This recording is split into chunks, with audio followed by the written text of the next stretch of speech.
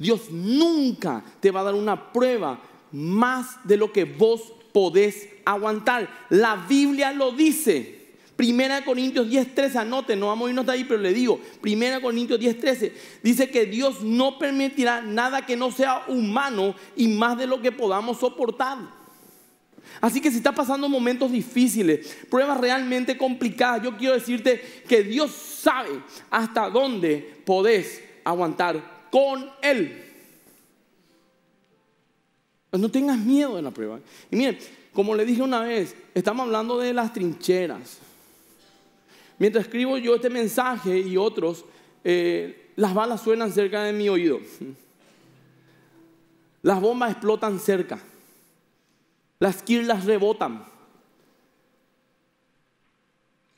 Y de ahí le puedo decir que Dios nunca te va a dar una prueba más grande de la que puedas aguantar o Él te puede ayudar.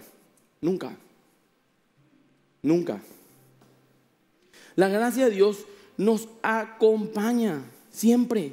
Dios sabe hasta cuándo podemos resistir, aguantar, seguir, perseverar. Dios sabe.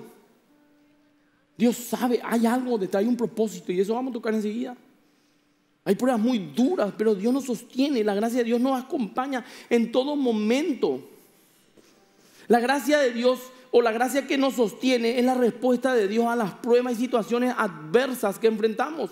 Podemos pedirle a Dios que nos quite el dolor y hay versículos de apoyo que dicen que si pedimos según su voluntad, Él nos quitará de ese problema. Lo único que puede impedir que Dios quite algún pesar en nuestras vidas es su propósito y voluntad y por qué puso, permitió esas pruebas en nuestras vidas. Yo quiero decirte, hermano, que aunque no entendamos, aunque no podamos ver qué hay detrás, hay un propósito en tus luchas.